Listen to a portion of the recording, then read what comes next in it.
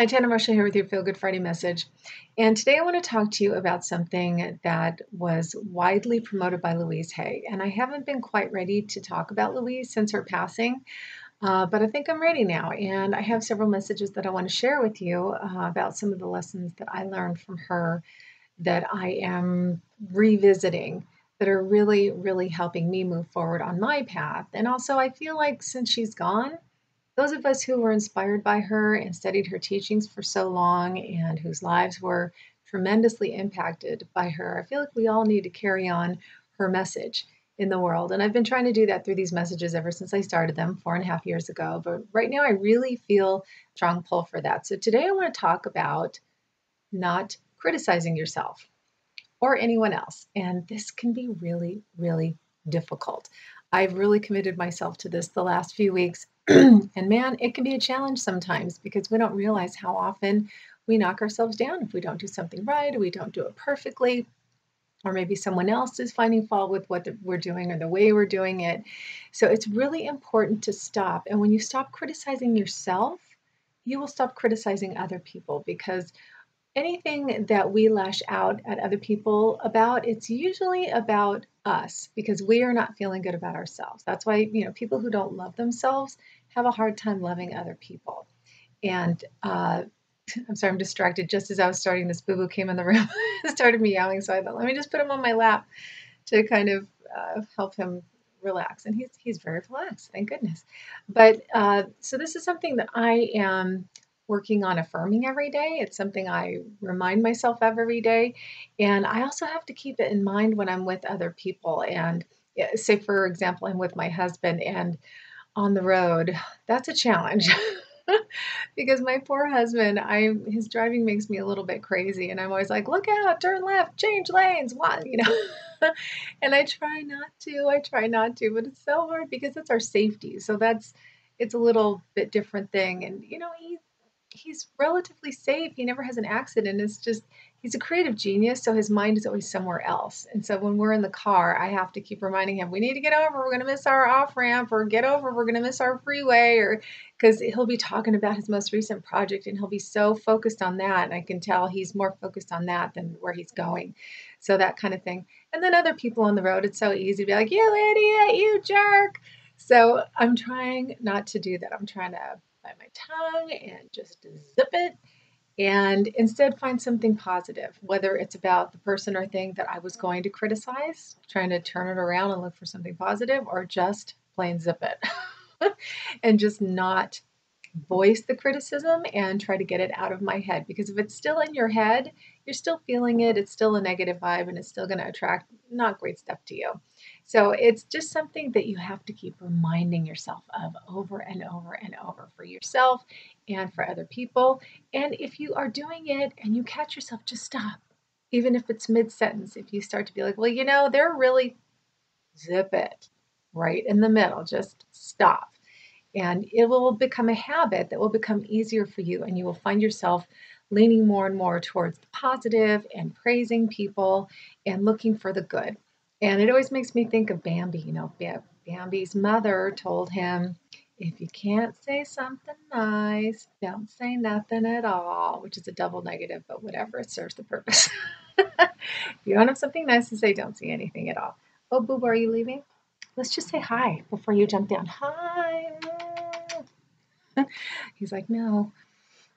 But uh, so that's just a quick message for you today and something that I'm really working on every day. And you know what? It makes a difference because when you catch yourself and you stop doing it, you feel better. You are allowing more positive vibes. You're it's a way of loving yourself too, first, and then loving other people. Don't criticize yourself and stop criticizing other people. Just stop that Louise always said, stop all criticism. So just stop it. And if you have a hard time, catch yourself in the midst and then stop.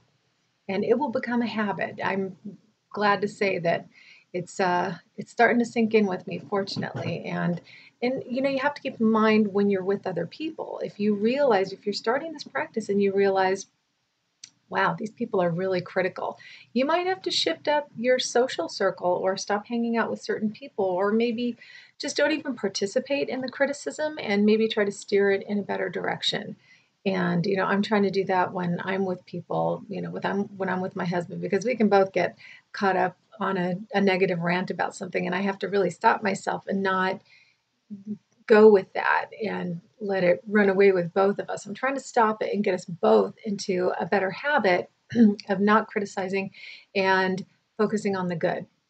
So notice your social circles and who do, who do you spend your time with and are they hypercritical? Are they critical of you? Are they critical of themselves? Are they critical of everyone and everything around them? If they are and it's chronic, you might need to step away just for your own mental health. If you're trying to practice and implement these new positive habits, sometimes you can't do it around other people.